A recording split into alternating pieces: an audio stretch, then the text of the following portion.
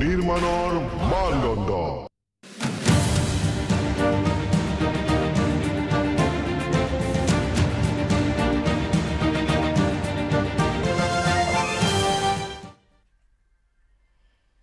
নমস্কাৰ স্বাগতম নিউজ কেনল ষ্টুডিঅ'ত ৰশ্মিতা গোস্বামী। এতিয়া বিতং খবৰ। বৰাকৰ হৰ্ডিং কাণ্ডত চাৰিজনলৈ চমন জাৰি মহানগৰ আৰক্ষীৰ। দিছপুৰ আৰু গীতানগৰ থানাত হাজিৰৰ নিৰ্দেশ দিয়া হৈছে। বি ডি ৱাই এফ মুখ্য উপদেষ্টা প্ৰদীপ দত্ত ৰায়ক দিয়া হৈছে চমন বি ডি ৱাই এফৰ উপদেষ্টা ঋষিকেশ দেক চমন দিছপুৰ আৰক্ষীৰ। বি ডি ৱাই এফৰ মুখ্য আহ্বায়ক কল্পৰ্ণৱ গুপ্তকো গীতানগৰ আৰক্ষীয়ে চমন দিছে।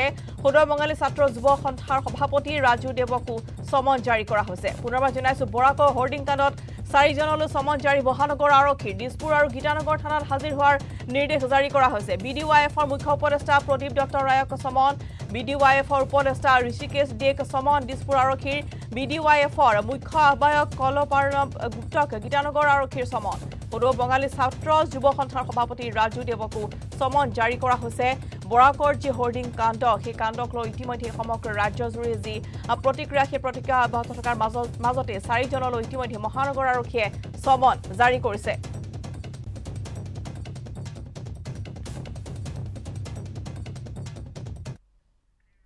আনহাতে বৰাকত অসমীয়া ভাষাৰ পোষ্টাৰত কলা ৰং সনাৰ অভিযোগত দুজনক কৰা হৈছে গ্ৰেপ্তাৰ। বি ডি ৱাই এফৰ দুই সদস্যক গ্ৰেপ্তাৰ কৰিছে আৰক্ষীয়ে। সমৰ দাস আৰু ৰাজু দেৱ নামৰ দুজনক গ্ৰেপ্তাৰ কৰা হৈছে। বৰাক ডেমক্ৰেটিক যুৱ ফ্ৰণ্ট আৰু সদৌ বঙালী যুৱ ছাত্ৰ সন্থাই অসমীয়া ভাষাৰ পোষ্টাৰত কলা ৰং সানিছিল। মঙলবাৰে বি ডি এফৰ মুখ্য আহ্বায়ক প্ৰদীপ দত্ত ৰায়কো জেৰা কৰিছে ইতিমধ্যে আৰক্ষীয়ে। পুনৰবাৰ জনাইছো যে বৰাকত অসমীয়া ভাষাৰ পোষ্টাৰত কলা ৰং সনাৰ অভিযোগত দুজনক ইতিমধ্যে আৰক্ষীয়ে গ্ৰেপ্তাৰ কৰিছে। সমৰ দাস আৰু ৰাজু দেৱ নামৰ দুজনক কৰা হৈছে গ্ৰেপ্তাৰ। বৰাক ডেমক্ৰেটিক যুৱ ফ্ৰণ্ট আৰু সদৌ বঙালী যুৱ ছাত্ৰ সন্থাই অসমীয়া ভাষাৰ পোষ্টাৰত কলা ৰং সানিছিল আৰু তাৰপিছতে এই দুজনক ইতিমধ্যে আৰক্ষীয়ে গ্ৰেপ্তাৰ কৰিছে।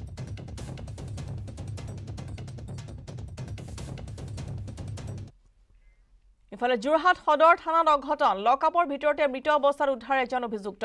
মোবাইল চুৰিৰ অভিযোগত গ্ৰেপ্তাৰ কৰিছিল ছাবিৰ আনচাৰী নামৰ যুৱকজনক। লকআপৰ ভিতৰৰ শৌচাগাৰত চিপ লৈ ওলমি থকা অৱস্থাত উদ্ধাৰ কৰা হৈছে যুৱকজনৰ মৃতদেহ। নিশা উচ্চপদস্থ আৰক্ষী উপস্থিত হৈ তদন্ত আৰম্ভ কৰিছে। ঘটনাৰ দণ্ডাধীশ পৰ্যায়ৰ তদন্তৰ ঘোষণা কৰা হৈছে। পুনৰবাৰ জনাইছো যে ইতিমধ্যে যোৰহাট সদৰ থানাত অঘটন সংঘটিত হৈছে। লকআপৰ ভিতৰতে মৃত অৱস্থাত উদ্ধাৰ কৰা হৈছে এজন অভিযুক্তক। মোবাইল চুৰিৰ অভিযোগত গ্ৰেপ্তাৰ কৰা হৈছিল ছাবিৰ আনচাৰী নামৰ যুৱকজনক। লকআপৰ ভিতৰৰ শৌচাগাৰত চিপ লৈ ওলমি থকা অৱস্থাত উদ্ধাৰ হৈছে যুৱকজনৰ মৃতদেহ। নিশা উচ্চপদস্থ আৰক্ষী উপস্থিত হৈ তদন্ত আৰম্ভ কৰিছে।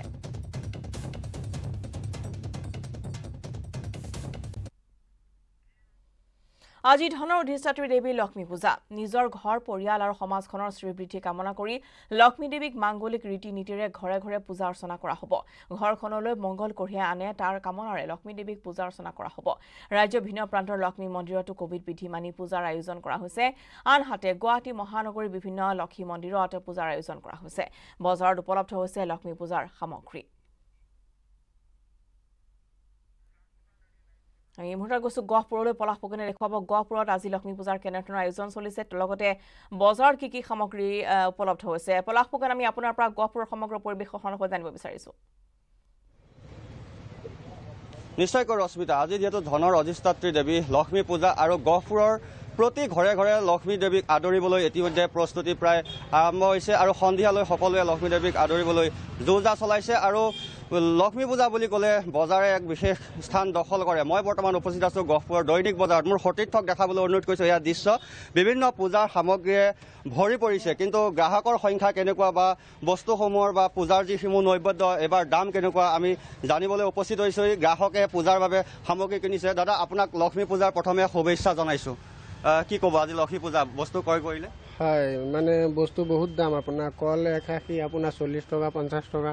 আপেলৰ দামো আপোনাৰ ঢেৰ মানে অলপ অলপকৈ লৈছোঁ আৰু যেনে তেনে মাহ কাদৰিবলৈ আৰু। বস্তুৰ দামে অকণমান সমস্যাৰ সৃষ্টি কৰিছে। হয় হয় বহুত সমস্যাৰ সৃষ্টি কৰিছে। হয় ৰশ্মিতা এনেদৰে আচলতে বজাৰ কৰিবলৈ যিসকল লোক ওলাই আহিছে তেওঁলোকে জনাইছে যে সামগ্ৰীৰ কিছু মূল্য বৃদ্ধি হৈছে কিন্তু উপায় নাই। লক্ষ্মী দেৱীক আদৰিবই লাগিব সকলোৱে এয়া আমাৰ এক পৰম্পৰা এয়া আমাৰ আৰু আছে গ্ৰাহক। ভাইটি এগৰাকী পাইছোঁ ভাইটি কল কিনিছা যিহেতু আজি লক্ষ্মী পূজা। প্ৰথমে তোমাক শুভেচ্ছা জ্ঞাপন কৰিছোঁ নিউজ এইটিনৰ তৰফৰ পৰা। থেংক ইউ হয় কি কি ল'লা? ক'ত ল'লোঁ। কল কেনেকুৱা? এইবাৰ পূজা কেনেদৰে আয়োজন কৰিছা? ভালকৈ আয়োজন কৰিছোঁ এতিয়া ইমান দাম হৈছে আৰু। দামে অলপ প্ৰভাৱ পেলাইছে। হয়। কি- ঘৰত আয়োজন কৰিছানে নে সমূহীয়াভাৱে আয়োজন ঘৰত আয়োজন কৰিছোঁ। হয়? মোৰ সতীৰ্থক দেখাবলৈ কৈছোঁ এয়া হৈছে বিভিন্ন ফল মূল উলিয়াই থৈছে। কিন্তু এই স্থানত পূৰ্বতে লক্ষ্মী পূজাৰ দিনটোত বীৰ দি বাট নোপোৱা অৱস্থা হয়। কিন্তু আজি তেনে কোনো পৰিৱেশ দেখা নাই। দুই এজন গ্ৰাহক আহিছে। ইচ্ছা অনুযায়ী হয়তো তেওঁলোকে ক্ৰয় কৰিব পৰা নাই। এগৰাকী দাদা আছে। দাদা আজি লক্ষ্মী পূজা আপোনাক শুভেচ্ছা জ্ঞাপন কৰিছোঁ। বজাৰ কৰিবলৈ আহিলে কি ক'ব আজিৰ দিনটোত? কি ক'ব মানে বজাৰত মানে বস্তু জুই চাই দাম এতিয়া লক্ষ্মী পূজা নামানিলেও নহয়। এতিয়া পাতিবলগীয়া হৈছে। ঘৰৰ পৰা পঠাইছে কিবা কিবি আনক কিন্তু ইয়াত যিটো বস্তুৰ দাম হৈছে এতিয়া কিনিবলৈ অলপ অপাৰগতা প্ৰকাশ কৰিছোঁ মানে। তথাপিতো আৰু অনুষ্ঠীয়াকৈ পাতিবই লাগিব। হয় নিশ্চয়কৈ ৰশ্মিতা সকলোৱে অনুষ্টুপীয়াকৈ হ'লেও লক্ষ্মী পূজাৰ আয়োজন ইতিমধ্যে আৰম্ভ কৰিছে আৰু বজাৰত এয়া এজন দুজনকৈ গ্ৰাহকৰ সমাগম পৰিলক্ষিত হৈছে। বিভিন্ন ফল মূল উলিয়াই দিছে। ভাইটি কলৰ ৰাশি কেনেকুৱা লগাইছে? ত্ৰিছ টকা চল্লিছ টকা। আৰু আপেল? আপেল এশ চল্লিছ এশ বিছ আৰু নাৰিকল নাৰিকল? নাৰিকল যোৰা এশ। যোৰা এশ। হয় নিশ্চয়কৈ। লক্ষ্মী পূজা বুলি ক'লে ৰশ্মিতা নাৰিকলে বিশেষভাৱে গুৰুত্ব লাভ কৰে আৰু নাৰিকলৰ বৰ্তমান এশ টকা যোৰা ঠিক তেনেদৰে। গহপুৰৰ বজাৰ লক্ষ্মী পূজাৰ দিনটোত কলৰ পঞ্চাছৰ পৰা ষাঠি টকা আৰু। আপেলৰ এশৰ পৰা এশ বিছ ত্ৰিছ টকা পৰ্যন্ত আছে। গহপুৰৰ পৰিৱেশ দেখুৱালে আৰু অত্যাধিক যি অত্যাৱশ্যকীয় মূল্য বৃদ্ধি হৈছে তাৰ প্ৰভাৱ পৰিছে। যিহেতু তেলৰ লগতে দাম বৃদ্ধি পাইছে গতিকে ইন্ধনৰ দাম বৃদ্ধিৰ লগে লগে অত্যাৱশ্যকীয় সামগ্ৰী সমান্তৰালভাৱে ফল মূলৰ বজাৰ আৰু বিশেষকৈ লক্ষ্মী পূজা উপলক্ষে আজি গ্ৰাহকসকলেও ইতিমধ্যেই আহ, যিহেতু পূজাৰ সামগ্ৰী ক্ৰয় কৰিবলৈ আহিছে কিন্তু মূল্য বৃদ্ধিয়ে তেওঁলোকক ইতিমধ্যে চিন্তিত কৰি তোলা বুলি জানিব পৰা গৈছে। ৰাজ্যৰ বিভিন্ন প্ৰান্তৰ আজি লক্ষ্মী পূজাৰ পৰিৱেশ আমি দেখুওৱা যাম। যিহেতু মন্দিৰসমূহতো লক্ষ্মী মন্দিৰসমূহতো পূজাৰ আয়োজন চলিছে। সমান্তৰালভাৱে বজাৰতো গ্ৰাহকৰ ভিৰ বঢ়া পৰিলক্ষিত হৈছে। সময় যিমানে আগুৰি গৈছে যিহেতু সকলোৱে আজি নিজৰ ঘৰত মা লক্ষ্মীক আৰাধনা কৰে স্তুতি কৰে মিনতি কৰে। গতিকে সন্ধিয়াৰ ভাগলৈ তেওঁলোকে যি নৈবেদ্য বা যি শৰাই আগবঢ়াব তাৰ বাবে যিসমূহ ভোগৰ প্ৰয়োজন হয় যিসমূহ সামগ্ৰীৰ প্ৰয়োজন হয় সেইসমূহ ক্ৰয় কৰিবলৈ ইতিমধ্যেই বজাৰলৈ আহিছে। গ্ৰাহকৰ ভিৰ বজাৰত বৃদ্ধি হোৱা পৰিলক্ষিত হৈছে।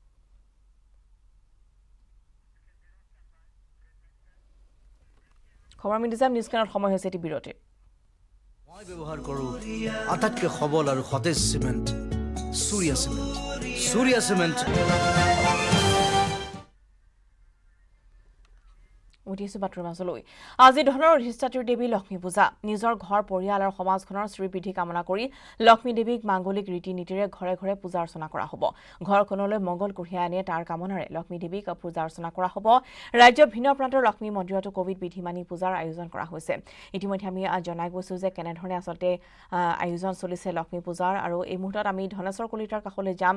ৰঙাপাৰাৰ পৰা তেওঁ দেখুৱাব দুৰ্গা পূজা ক্ষমা কৰিব লক্ষ্মী পূজাৰ কেনে আয়োজন চলিছে। ধনেশ্বৰ আমি আপোনাৰ কাষলৈ আহিছো। আৰু ইতিমধ্যে যিহেতু আজি লক্ষ্মী পূজা উপলক্ষে বজাৰতো যথেষ্ট সামগ্ৰী উভৈনদী হোৱা পৰিলক্ষিত হৈছে। ৰঙাপাৰাত কেনে আয়োজন চলিছে আমি আপোনাৰ পৰা জানিব বিচাৰিম।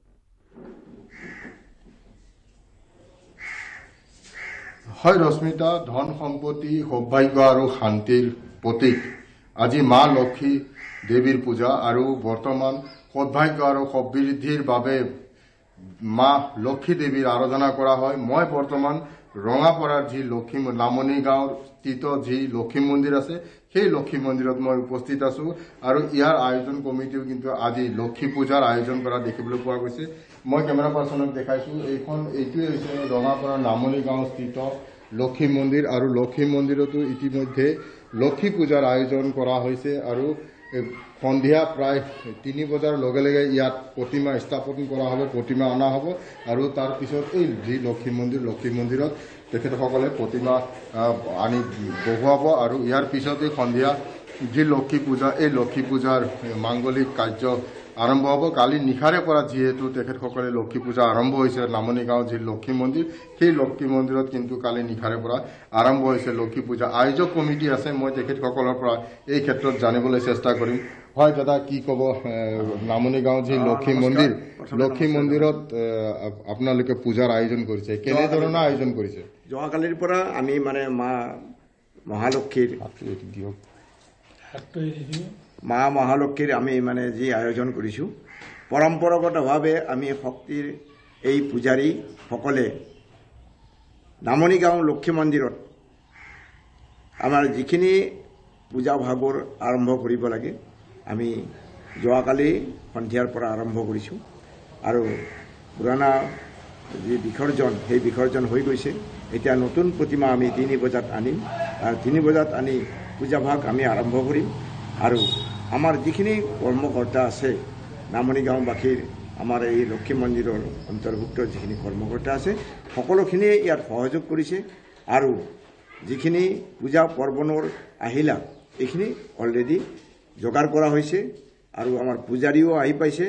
পূজাৰীয়ে আমাৰ সকলোখিনি নিৰ্দেশনা দি ইয়াত যি অধিষ্ঠাত্ৰিক স্থাপন কৰা হ'ব গতিকে সম্পূৰ্ণভাৱে তেখেতক কৰ্তৃত্ব দিয়া হৈছে আৰু তেখেতৰ যি নতুন মূৰ্তিৰ যিখিনি অৱতাৰণা এই অৱতাৰণাখিনি তেখেতে ইয়াত স্থাপন কৰি সকলোকে আকৰ্ষণ আনিব। বুলি হয় বৰ্তমান যিজন পুৰোহিত পুৰোহিতজন ইতিমধ্যে আহি পাইছে। মই তেখেতৰ পৰা জানিব চেষ্টা কৰিম যিহেতু আজি লক্ষী পূজা আৰু ভি নামনি গাঁও লক্ষী মন্দিৰ লক্ষী মন্দিৰৰ পূজা অৰ্চনা ইতিমধ্যে কালি নিশাৰে পৰা হৈছে। মই পুৰোহিতজনৰ পৰা এই ক্ষেত্ৰত জানিবলৈ চেষ্টা কৰিম কেনেধৰণৰ আয়োজন বা পূজাৰ কি যোজা চলি আছে। নামনি গাঁৱৰ শান্তিপাৰা লক্ষী মন্দিৰ আগতে যদিও বনোৱা আছিল চৰকাৰী অনুদানৰ জৰিয়তে এইবাৰ অলপমান উন্নতি কৰি ঘৰটো আমি আৰম্ভ কৰিছোঁ। কমপ্লিট কমপ্লিট আমাৰ ঘৰটো যদিও হোৱা নাই তথাপিতো আমাৰ যিটো মন্দিৰ এই মন্দিৰটো আমাৰ সম্পূৰ্ণ হৈছে। আজি আমি ৰাতি ৰাতি আবেলি চাৰিটা বজাৰ পৰাই লক্ষী পূজা আৰম্ভ কৰিম। প্ৰতিমা আনিব। পূজাৰ এনেধৰণে বিধি আৰম্ভ হৈছে। ৰঙাপাৰা পৰিৱেশ ধনেশ্বৰ দেখুৱালে। এই মুহূৰ্তত আমি তিনিচুকীয়ালৈ যাম উপাসনা আছে আমাৰ সৈতে। উপাসনা আমি আপোনাৰ কাষলৈ আহিছোঁ। তিনিচুকীয়াত লক্ষ্মী পূজাৰ কেনে পৰিৱেশৰ আয়োজন কৰা হৈছে আপোনাৰ জৰিয়তে জানিব বিচাৰিম।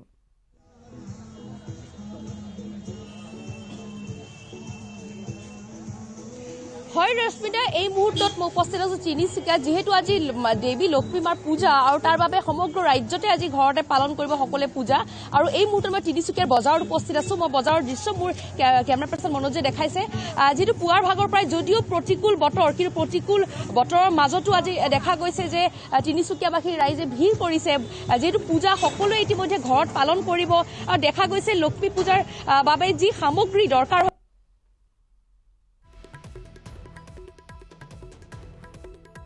নিশ্চয়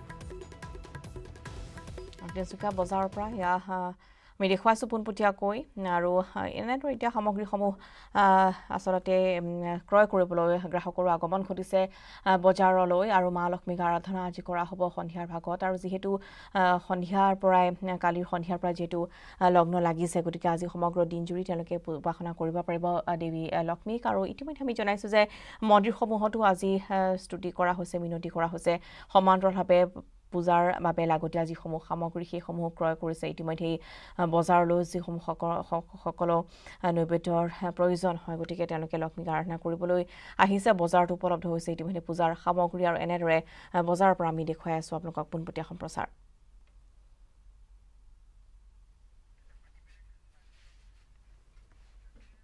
পৰৱৰ্তী খবৰলৈ আগবাঢ়িছোঁ।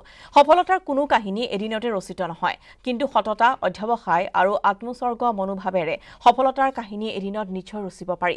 দেশত দুগ্ধ বিপ্লৱৰ সূচনা কৰা আমূলৰ যাত্ৰা আৰম্ভ হৈছিল গুজৰাটৰ দুখনকৈ গাঁৱৰ পৰা। পঁয়সত্তৰ বছৰ সম্পূৰ্ণ হোৱা আমূলেও একেলগে দেশৰ স্বাধীনতাৰ অমৃত মহোৎসৱ পালন কৰি আছে। চাওঁ হওক আমূলে কেনেদৰে সফলতাৰ সোণালী অধ্যায় ৰচনা কৰিলে।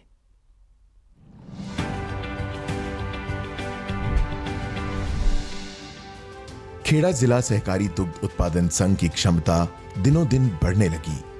किसानों को संघ की डेयरी अपने सभी सपनों की मंजिल लगने लगी। वो पूरी लगन से जुट गए और इस तरह अमूल के सुनहरे भविष्य की डगर आगे बढ़ने लगी। 1956 में रोज एक लाख लीटर दूध की क्षमता वाला पहला डेयरी प्रोसेसिंग प्लांट विकसित कर लिया गया। अब आगे और आगे जाने की ही बारी थी। किसानों के दुख भरे दिन। बीत चुके थे।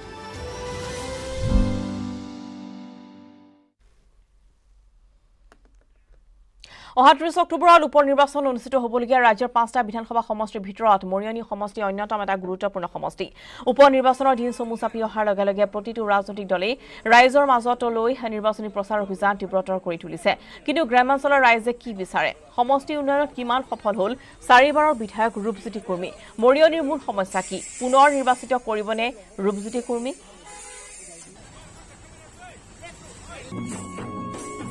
আগবঢ়াইছোঁ এই সন্দৰ্ভত জ্যোতিপ্ৰসাদ গগৈৰ ৰিপৰ্ট উপ নিৰ্বাচনৰ দিন চমু চাপি অহাৰ লগে লগে ৰাজনৈতিক দলসমূহৰ যি নিৰ্বাচনী তৎপৰতা বৃদ্ধি পাইছে গাঁৱে চহৰে বাগিচাই ইতিমধ্যে ৰাজনৈতিক দলসমূহে সভা- সভা-সমিতি আয়োজন কৰিছে। তাৰ লগতে তেওঁলোকে ব্যক্তিগতভাৱেও প্ৰতিজন ভোটাৰক আকৰ্ষিত কৰিবৰ কাৰণে চেষ্টা কৰিছে। মই বৰ্তমান উপস্থিত আছো মৰিয়নি ঘৰফলীয়া গাঁৱত আৰু এই গাঁওখনৰ কেইজনমান লোকৰ লগত কথা পাতিম। আচলতে ইয়াত নিৰ্বাচনৰ কেনেকুৱা বতাহ আচলতে বতাহ বলিছে মই জানিবলৈ চেষ্টা কৰিম। এজন জ্যেষ্ঠ জ্যেষ্ঠ ব্যক্তি আছে মই তেওঁৰ পৰা জানিব বিচাৰিছো। যিহেতু আপুনি এগৰাকী বয়োজ্যেষ্ঠ ব্যক্তি কেইদিনমান পূৰ্বে ভোট দিছিলে। আকৌ নিৰ্বাচন আহি পালেহি উপ নিৰ্বাচন কি ক'ব এই মুহূৰ্তত? এতিয়া ক'বলৈ এতিয়া আমাৰ ৰাইজৰ ক'বলৈ গ'লে আমি এইটোকে কৈছোঁ যে উপ নিৰ্বাচন কিয় হ'ব লাগিছিলে? তেখেতে ধনুৱে যদি আগতে যদি জানেই কথাটো যদি বিজেপিত জইন কৰিব তেতিয়াহ'লে আগতেই বিজেপিত জইন কৰি পিনি এই ৰাইজ আৰু ইয়াৰ লগতে সমষ্টি নিউজ কেন্দ্ৰৰ পৰা এতিয়া বিদায় লোৱাৰ। নমস্কাৰ। ব্যৱহাৰ কৰোঁ। আটাইতকৈ সবল আৰু সতেজ চিমেণ্ট চুৰিয়া চিমেণ্ট। চুৰিয়া চিমেণ্ট অটুট ঘৰ অটুট অসম।